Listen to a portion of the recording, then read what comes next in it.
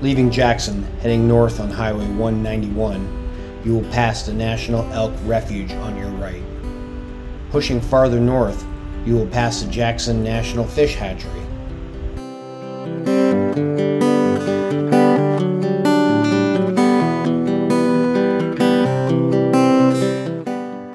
Continuing north, you will arrive at the Grand Teton sign. If you are just arriving, this will be your first breathtaking views of the Grand Tetons.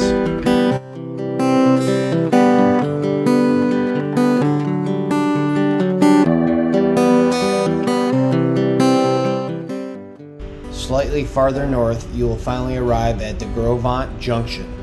The Gros Junction is a small roundabout and is your gateway to adventure.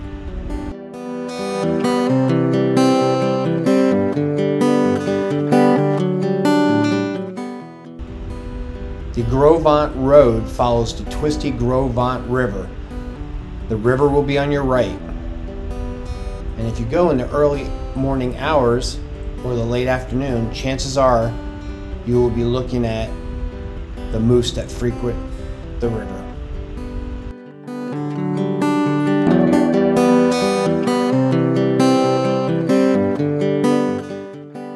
In an earlier video, we found endless primitive camping opportunities in the Gros Ventre wilderness.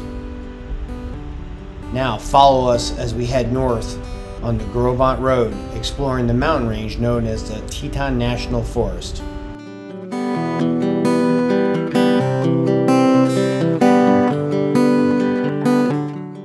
The Teton National Forest extends all the way up and past Highway 26. Looking east, we will explore every dirt road find in search of the most epic campsite and epic views of the Tetons. The forest consists of 3.4 million acres, making it the third largest national forest outside of Alaska The forest stretches from the Yellowstone National Park along the eastern boundary of the Grand Teton National Park and from there rides along the western slope of the Continental Divide to the southern end of the Wind River Range.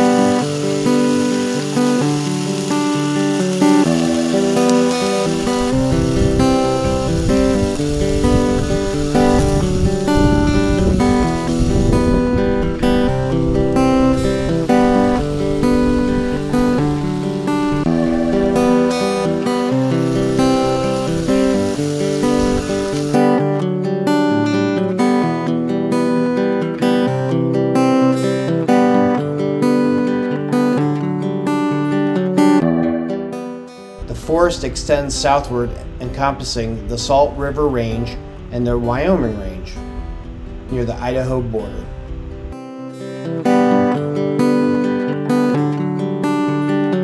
It is hard to imagine Jim Bridger navigating across the Tetons in the early 1800s. Sometimes this park is referred to as the Bridger Teton National Forest.